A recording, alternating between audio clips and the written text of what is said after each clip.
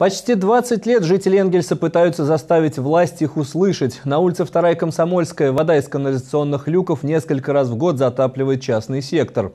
Огороды, жилые помещения – все это уходит под почти метровый слой воды, а людям в это время приходится запасаться резиновыми сапогами и терпением, которого, правда, у них уже не осталось.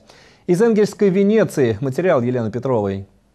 Сточные воды вместе с фекалиями все прибывает и прибывает. Вот э, весь огород 7 соток затоплено и теперь весь дом. Собственный пруд появляется во дворе Нины Гузачевой с незавидной регулярностью. Говорит, когда затапливает, только резиновые сапоги и спасают. Да и те надо подбирать повыше. Вода иногда доходит до полуметра и даже больше. Вся проблема в системе канализации, которая проходит в нескольких метрах от улицы. Когда идет дождь, люки переполняются. И пока их не откачают, люди живут по колено в воде. Если у них в водоканале работают вот эти КНСки, за ночь уйдет вода, как будто отсосали и все. И ничего нет. Ну, Конечно, следы есть, страшные вот эти следы, но она быстро и уходит, если КНСки работают и отсасывают быстро. А иногда вот, если у них они не работают, мы можем месяц вот так стоять. Елене сегодня не повезло. Говорит, дома стоит два насоса, и обычно они быстро откачивают прибывающую воду. В этот раз все было иначе. Затапливало так быстро, что кухня, которая находится в полуподвальном помещении, полностью ушла под воду.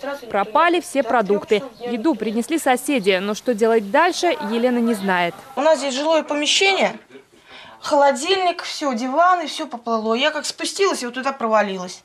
И первый раз в жизни, и прям вот хлыстала прям вот оттуда вода. У нас два насоса качают отсюда, еще с другого подвала не справлялись. А у Надежды в дом вода не дошла, но все овощи, за которыми ухаживала полтора месяца, пропали. Как будет зимовать, женщина не знает. Здесь было все посажено, овощи. Видите, вот лук еще не совсем затоплен, там перец, морковь, свекла, все. И основной участок вот картофеля. Все уничтожено, все уничтожено.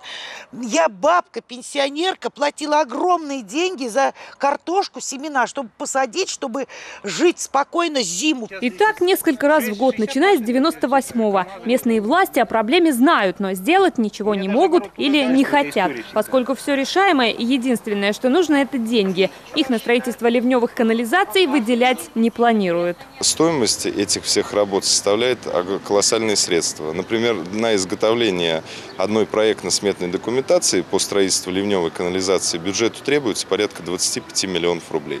С учетом того, что в бюджете отсутствуют свободные денежные средства, э, соответственно, можем представить, сколько будет стоить ее строительство. А у людей терпение уже сейчас на исходе. Жители готовы пикетировать здание администрации и даже перекрывать дороги, потому что сил на то, чтобы жить так и дальше, уже ни у кого не осталось.